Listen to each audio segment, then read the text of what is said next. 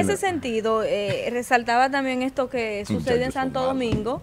O sea, esta joven ganó eh, por encima de muchos. ¿Shelly qué? Shelly Eh, no, no tengo el apellido. Creo que Chely Gómez, que se Eh, pero, o sea, ante esto tú te pones a, a comparar entre otros precandidatos que sí tienen un historial de vida política y ella que nace y que hace su precandidatura a través de las redes eh, y Medio escasa de ropa. Sí, con un exhibicionismo.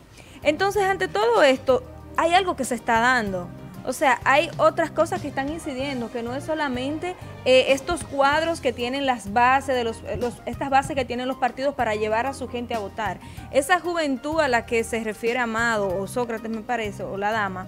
O sea, si tú te, fijas, y Fulvio ayer nos decía, mira, lo que se da en esos sectores son cosas a otro nivel. O sea, movilizar un grupo de gente, ¿de qué nivel? No solo económico, sino mental, para que vayan a votar. No te están dando un voto consciente, no te están dando un voto juicioso. Te están diciendo que, ok, si tú me diste algo o que si mi papá va a conseguir un cargo, yo voy, a ir a votar. Porque ante todo esto, concluyo diciendo que nosotros tenemos que revisarnos en ese sentido. Y mi tema iba ayer precisamente en, en- en ese, en ese aspecto. O sea, ¿por qué votamos? ¿Por quiénes votamos? ¿Qué nos motiva a votar?